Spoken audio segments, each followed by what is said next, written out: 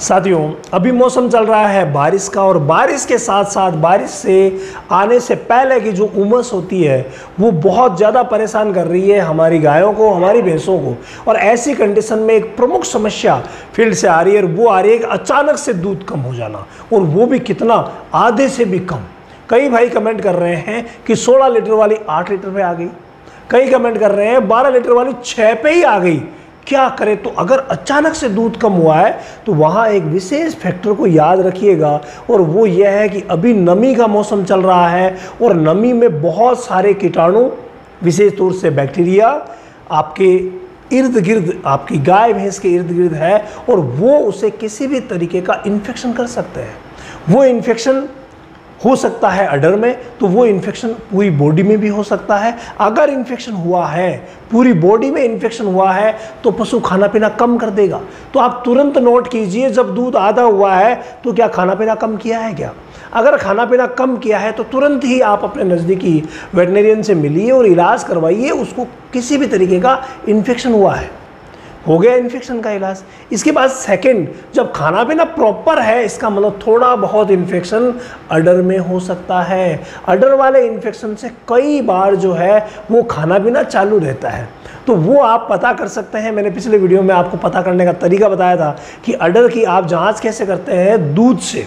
कैसे कर सकते हैं वो सर्फ एक्सल वाला फॉर्मूला आप ला करके और यूज़ कर लीजिएगा तो आपको पता चल जाएगा कहीं अडर में तो इन्फेक्शन नहीं है।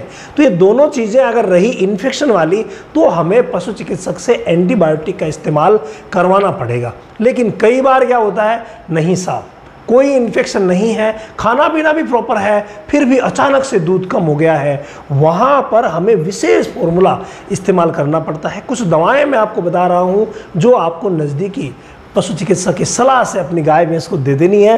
वो कौन कौन सी है? देखिए, नंबर वन, बहुत ज़्यादा एनर्जी लॉस अभी हो रहा है।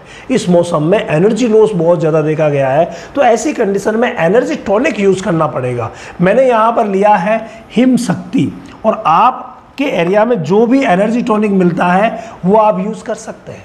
वो हिम शक्ति हो सकता है, जो आपको फ़ोटो में दिख रहा है। तो वो एनाडाइना हो सकता है, ई बूस्टर हो सकता है, या फिर एनाबोलाइट हो सकता है, कई प्रकार के ग्लूका बूस्ट हो सकता है। मतलब कई कंपनियों के एनर्जी टॉनिक आते हैं, वो हमें देने कितने हैं? 200 सौ कितना देना रहता है? 200 सौ आपको रोज़ देना है ओ डी का मतलब दिन में एक बार। तो 200 सौ रोज़ आप एनर्जी टॉनिक चालू कर दीजिए।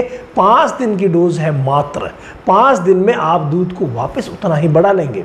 इसके साथ साथ क्या करना रहेगा? इसके साथ साथ देखिए एमएनएम ये पाउच आते हैं जो अडर की ग्रोथ के लिए या अडर की हर प्रॉब्लम के लिए होते हैं, जो मैंने आपको कई वीडियो में पहले भी बताए हैं। यहाँ पर भी आपको देने पड़ेंगे। अगर हम बात करें एमएनएम की, जो कि वेट्स फार्मा का आता है एमएनएम आपको 50 ग्राम पाउच देना रहेगा, क्योंकि यहाँ पर जो पाउच आते हैं सॉरी 60 ग्राम के पाउच आते हैं एम एन एम में।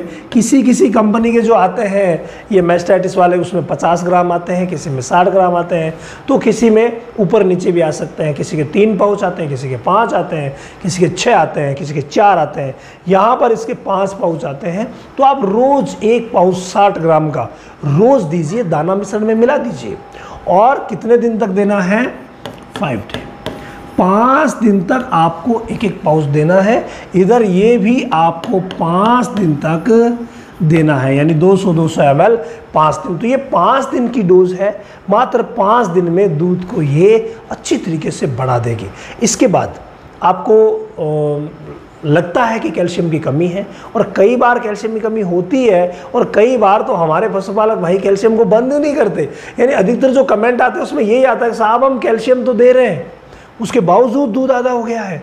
तो कैल्शियम अगर दे रहे हैं वेल एंड गुड अगर नहीं दे रहे हैं तो एक फॉर्मूला मैंने आपको एक वीडियो में बताया था ओस्टोवेट फॉट और वाई मरोल दोनों को मिला करके देने का फॉर्मूला तो भाई ये भी दे सकते हैं आप। किसी भी कंपनी का आपके एरिया में जो मिल रहा है अच्छा सा कैल्शियम, उसको भी आप दे सकते हैं। कैल्शियम देने से क्या होगा कि जो दूध लगातार लगातार बना रहा है तो वो लगातार बढ़ता ही रहेगा, बनता ही रहेगा तो कोई प्रॉब्लम नहीं रहेगी। मेन फॉर्मूला ये है, उसके बाद आप दूध बढ़ाने के लिए कोई भी चीज़, कोई भी पाउडर कोई भी मिनरल मिक्सचर दे सकते हैं। एक्चुअली क्या होता है कि जो लिक्विड दिया जाता है कैल्शियम उसको आप अलग से लीजिए और मिनरल मिक्सचर 50 से 100 ग्राम अपनी गाय भैंस को अलग से दीजिए। फिर देखिए कमाल, जो एकदम से दूध कम हुआ है, वो बिल्कुल बढ़ जाएगा। और खाने में जो डाइट है, उसका भी आप विशेष ध्यान रखिए। डाइट को संतुलित रखिए। ना ज़्यादा अनाज है तो ना ज़्यादा खली है। और चोकर, चूरी सब उसमें मिक्स करके दीजिए। नमक ज़रूर ऐड कीजिए। ये सब चीज़ें अगर आप देंगे और फिर ये मेडिसिन दे देते हैं तो जो अचानक से दूध कम हुआ है, जो अभी शिकायत आ रही है, भाई वापस दूध को बढ़ा सकते स्काईलाक पशु आहार, संपूर्ण पोषण दूध की बहार। कायलाक का वादा, सेहत और लाभ सबसे ज़्यादा। अधिक जानकारी के लिए संपर्क करें।